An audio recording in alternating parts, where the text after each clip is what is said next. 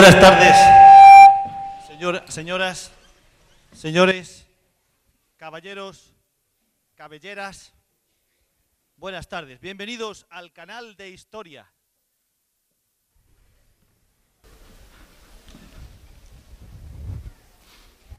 En la antigua prehistoria, 200 siglos hacia atrás, antes de que es- estallara la burbuja inmobiliaria, la gente vivía en cuevas como esta.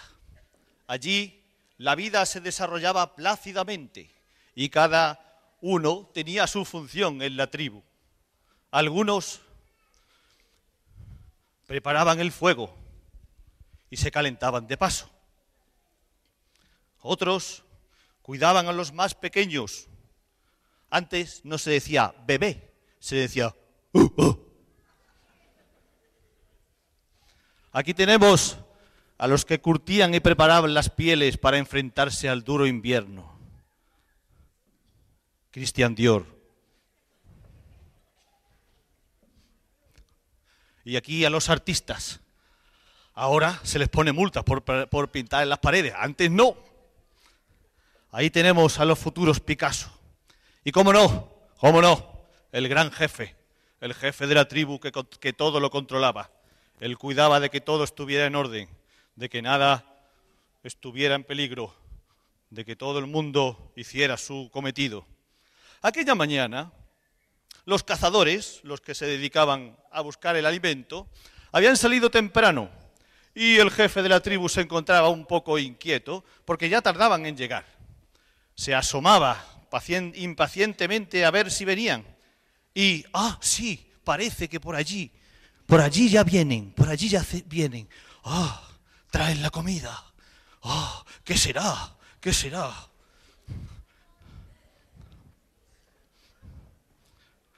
La tribu impaciente rodea a los cazadores esperando el ansiado alimento. ¿Traerían un ciervo? ¿Traerían un jabalí? ¿Traerían un mamú? Oh, aquel día hubo una gran sorpresa. Porque ni ciervo, ni jabalí, ni mamú, un triste pollo, solo un triste pollo habían encontrado, habían conseguido cazar. Pero bueno, era lo que había, así que el jefe de la tribu pasó a los arguiñanos, a los cocineros, perdón, el pollo para prepararlo a su manera, al estilo cromañón. Lo calentaron bien, lo trocearon y una vez que estuvo preparado, el jefe de la tribu se encargó de repartirlo a todos, a cada uno su cachito. Al que le tocó el tobillo del pollo lo pasó muy mal.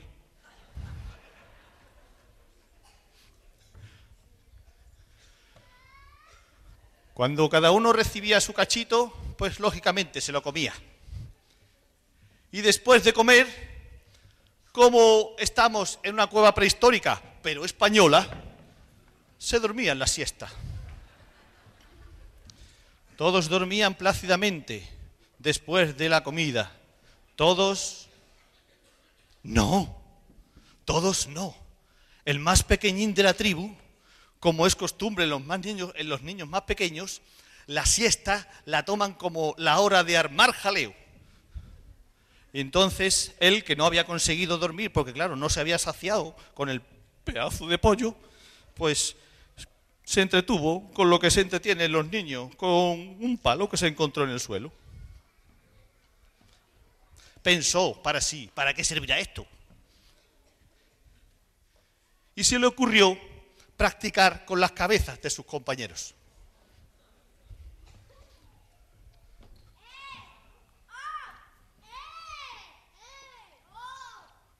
Oh, aquello era nuevo. Aquello sonaba algo. Se sorprendió mucho de aquello y volvió a repetir.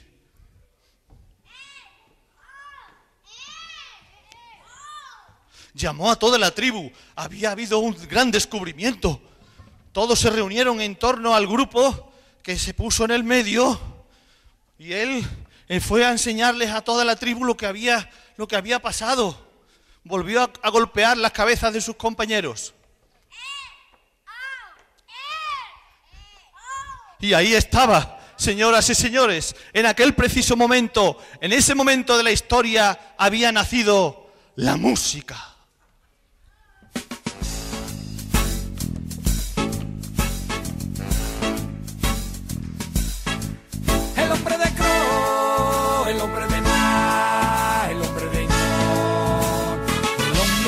Cromañón, el hombre de Cromañón, el hombre de Cromañón no está hecho de latón, no está hecho de latón, papá, el hombre de Cromañón no está hecho de latón, no está hecho de latón.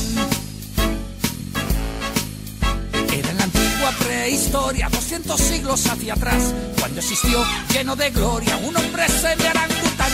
Usaba sus patas traseras y sus harapos de bisón. Cuando empezó su gloriosa carrera, el famoso hombre de Crumañón. El hombre de Cro, el hombre de Ma, el hombre de Ñón, el hombre de Cromañón, el hombre de Cromañón. El hombre de Cromañón no está hecho de latón, no está hecho de latón, papá. El hombre de Cromañón no está hecho de latón, no está hecho de latón.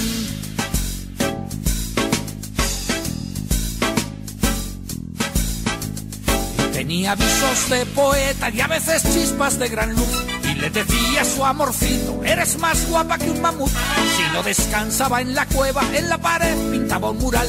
Que ni Goya, ni Picasso, ni el gran Dalí lo pintaban igual. El hombre de Cro, el hombre de Ma, el hombre de Ñón, el hombre de Cromañón, el hombre de Cromañón, el hombre de Cromañón no está hecho de latón, no está hecho de latón, papá, el hombre de Cromañón no está hecho de latón, no está hecho de latón.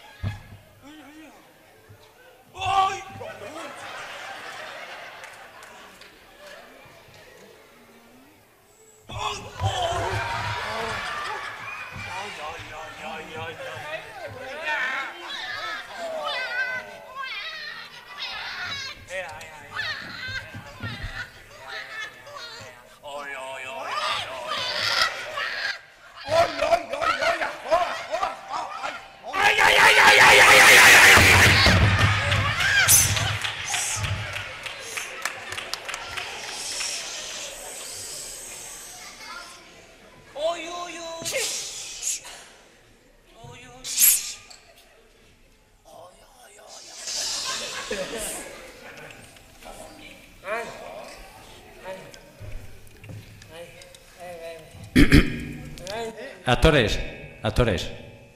Muy bien, ya está. Muy bien, gracias. Gracias por la demostración. Y recuerden, afortunado el hombre que se ríe de sí mismo, ya que nunca le faltará motivo de diversión.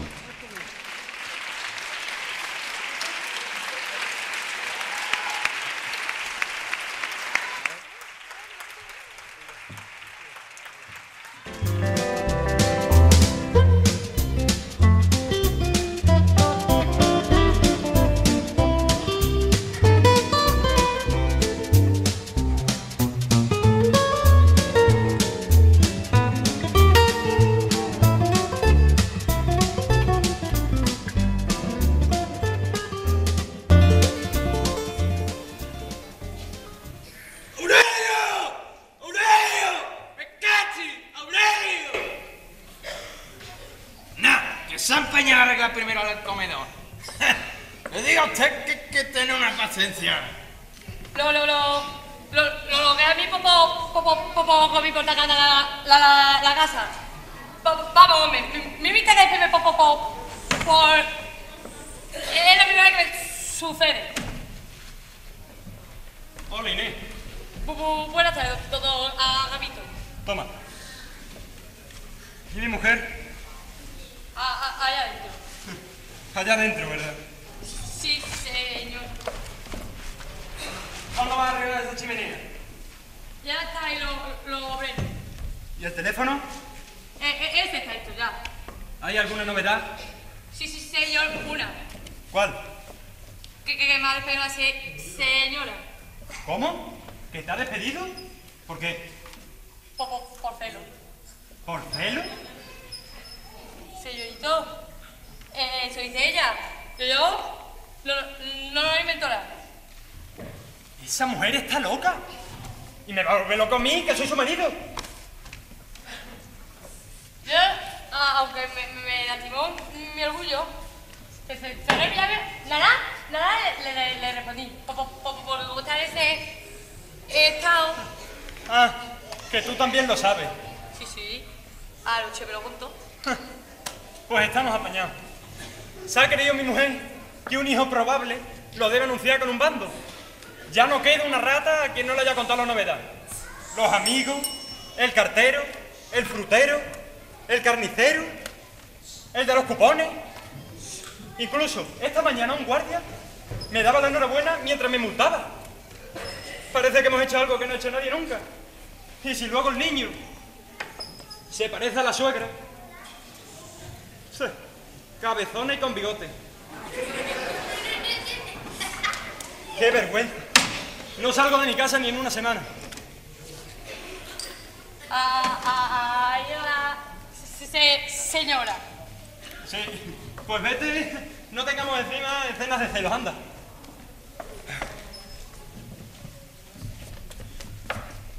Cucu, ¿Qui- ¿Quién es? adivina. El de la chimenea. Popitito, en el estado que estoy me tratas así.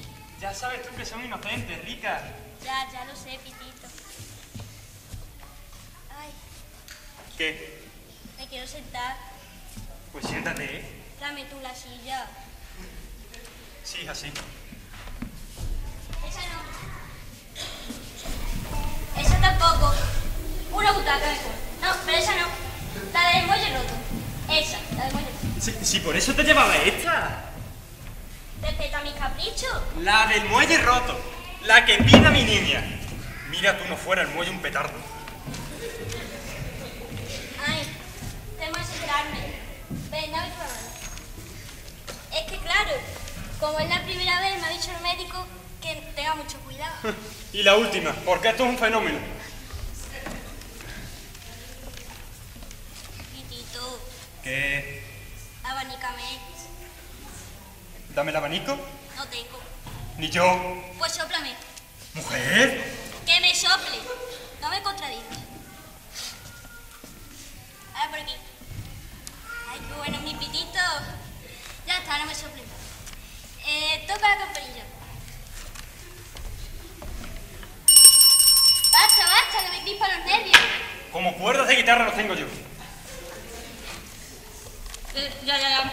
Vámonos, señores. Inés, Servidora. escúchame, que olvides lo de antes, que se me ha ido la cabeza. Que nada, que te quedas en casa, ¿vale? Eh, está bien, señora. Pitito, no me mires con esa cara delante de la gente. Inés, una cosa. Eh, ves a mi...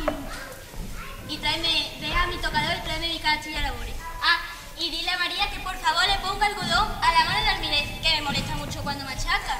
Sí, sí, sí, sí. Pitito, ¿Qué? no pases. Ya estoy parado, ¿viste? Ya estoy parado. Pitito, ¿Qué? me has comprado castañas. Mujer, me he recorrido todo Madrid. No hay castañas en ninguna parte. Pitito, yo quiero castañas. Dicen que no es el tiempo. Pitito, yo quiero castañas. Bueno, te las traeré pilonga. Pitito, ¿Qué? no te enfades. Yo quedé enfadarme, chiquilla. Pitito, ¿Qué? enfádate. ¿Qué? Que te enfades. Es que luego me gusta hacer fácil.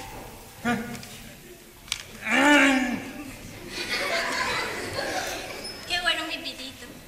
Ven, ven aquí, vamos a hablar de lo nuestro. Es que yo tengo muchas dudas, ¿sabes? Entonces, me gustaría preguntarte, Dime, corazón.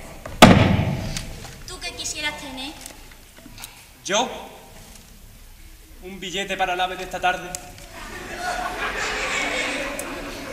Es que a mí me gustaría tener un mellizo.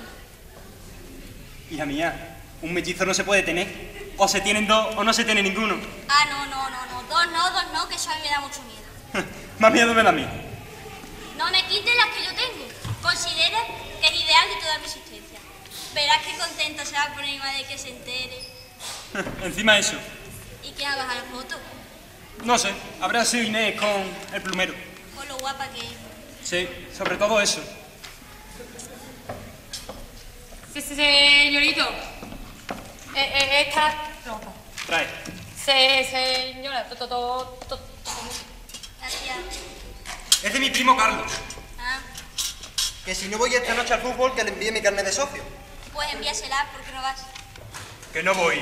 ¿Por qué? Pitito, ¿quién me va a dar la sopa? ¿Quién me va a dar la yema? No, no, no, no, yo sola no me quedo, Pitito. Vale. Además, ya me ha empezado.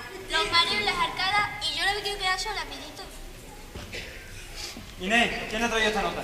Un, un- un- un muchacho, pa, pa- parece un caca, ca- casino. Sí, será del casino. ¿Qué pase? Oye, ¿sabe Carlos que pronto seremos papá? ¿Qué ha de saber Carlos? ¿Tú crees que lo voy contando a los cuatro vientos como tú? Además, que estás haciendo una falta. ¿Quién sabe?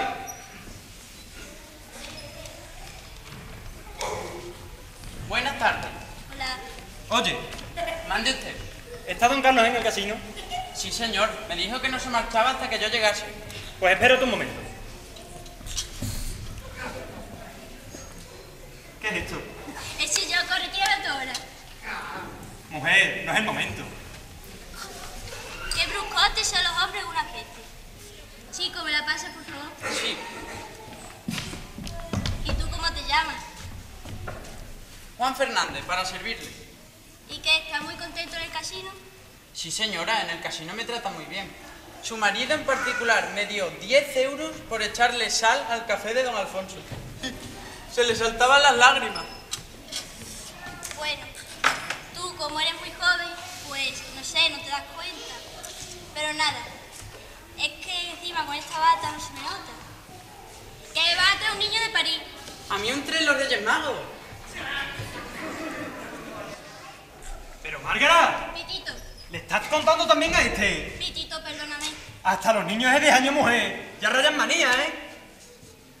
Señorito, que sea enhorabuena. Gracias. ¿Cómo comprendió el durante? ¿Quiere que cuente en el casino que le van a traer un niño francés de París? No. Sí, Como que un niño francés. nada, nada. Mira, toma esta propinilla y envíale esta carta a. Bueno, Adiós. Mira, Márgara. Pitito, no te había visto nunca con esa expresión de hielo. Mira, te estás poniendo en ridículo a ti y me pones en ridículo a mí. Y esto va a acabar mal. ¿Te molesta que hable del fruto de que llevo en mis entrañas? Me molesta, sí. Con que tengamos la fiesta en paz y cierra la puerta. Vale, pe- pero no me dejes. Si me voy a, ¿A qué? a ponerme el batín. Vale, cielo, no tardes. Ay, si es que Pitito se enfada, pero es que estos placeres de la maternidad son los más bonitos. Yo le pido a Dios más que una cosa, que cuando mi hijo sea mayor, llegue a ser presidente de Santander. ¡Carro! ¡Me lo robaron! ¡Estando de romería! Buenos días. Buenos días. ¿Dónde estará mi? ¿Dónde carro? Señora, no cante. señora, usted perdone, pero cuando uno está trabajando se le va la burla. ¡Aurelio! Ay, ¡Aurelio! obrero, Señora, que no grite. no tengo más remedio, señora. ¡Aurelio! ¡Echa la cuerda, hombre! ¿Qué dices? ¡Que echen la cuerda! ¡Que cierren la puerta! Aquí hay corriente de todas maneras. ¿Pero quién está hablando? Compañero, que está el tejo. Ay, no vaya a caerse ese hombre. Si cae eso, vamos ganando todo. Más harto me tiene. ¡Aurelio! ¡Le di que echar la cuerda! Yo con esta voz no puedo. Pitito, Pitito. Está en la cocina. ¿Quién? El gato, no llamo el gato. ¿Pero qué está usted diciendo? Mira, haga usted favor de callarse y retirarse enseguida. Hay enfermo quizás. Sí, como si lo hubiese. Es que cuando una se encuentra en cierto estado... ¿Que quién está dónde? No, soy yo, soy yo misma la que está... Ya sabe usted, Ah, bueno. Está usted preñada. un poquito. Por eso decía que no dice tantas voces, porque cualquier susto, cualquier impresión fuerte... Pues... Se lo está contando al de la chimenea. Vamos a salir en el Sálvame. Pero hombre, no me oye. Mira, mejor será que lo dejemos para luego. Máte a almorzar. Sí, porque en esta casa va a correr el gordo. Señora, buenos días. Me alegraré que el trance sea feliz y la horita sea corta. Y que usted lo vea. ¿Yo para qué? ¡Mi carro! ¡Me lo robaron! ¡Estando de romería! Ay. Si es que Pitito se enfada, pero yo tengo unos deseos muy grandes de contarle mi novedad a todo el mundo. Claro. ¿Quién será ahora? Puede que sea alguien para buscar noticias. Sí, dígame. Ah, de Yastel. Sí. Eh, no, si yo me cambiaría de compañía con mucho gusto, pero es que estando en este estado... No, no en estado, no estoy en Vodafone. Estoy en estado de Buena Esperanza. Sí, vale, muchas gracias. Adiós. ¡Márgara! Titito, me has asustado. ¡También a la operadora! Titito. No me mires con esa cara. Nunca te he visto así. Mira, se acabó Pitito y se acabó todo, ¿eh? Esto es inaguantable. Titito, no te pongas así por lo que llevo en mis entrañas. No es mío. ¿Cómo que no es tuyo? Entonces, ¿de quién es? Tuyo nada más. Ah, mal padre, mal caballero, mal pitito, que se va a malograr un ciudadano. No, no caerá esa breva. Ay, ay, ay. Es que... ¡Inés! ¿Pero a dónde vas? No lo aguanto más. ¡Hasta luego! Se- se- Señorito, si se ha ido sí, sí, el batín puesto. Y eh, Inés, pero tú has visto qué hombre más malo, qué, qué, qué- qué hombre más feo, más malo. No te cases nunca, Inesita. Cu- cuidado. Que, con, esta pinta. Pinita, t- tranquilícese usted. Que, que, que todo pa, pa- pa- pa- pasa. Ay. Sueño con una tarjeta rosa, malva, verde urí, en la que a todos ustedes pienso decirles así. Agapito Pérez López y Margarita Ruiz les anuncian con orgullo que desde Florido Abril cuentan con un bello retoño que para sus padres es la alegría de vivir.